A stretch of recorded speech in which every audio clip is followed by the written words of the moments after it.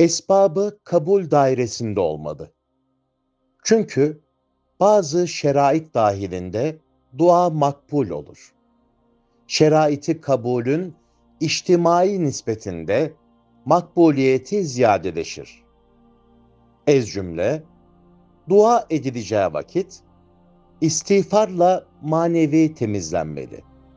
Sonra makbul bir dua olan salavat-ı şerifeyi şefaatçi gibi zikretmeli.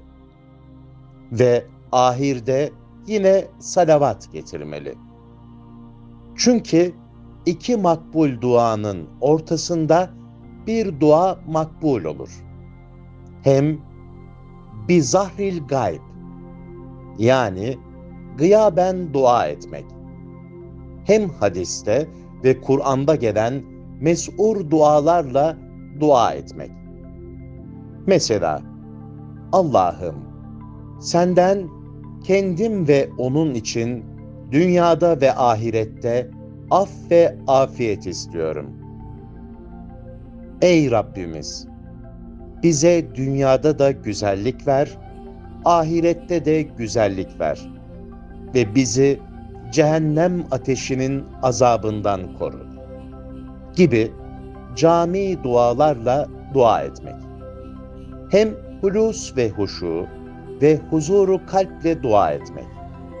Hem namazın sonunda, bilhassa sabah namazından sonra, hem mevaki mübarekede, hususan mescitlerde, hem cumada, hususan saat-ı icabede, hem şuhuru selasede, hususan leyali meşhurede, hem Ramazan'da, hususan Leyle-i Kadir'de dua etmek, kabule karin olması rahmeti ilahiyeden kaviyen memuldür.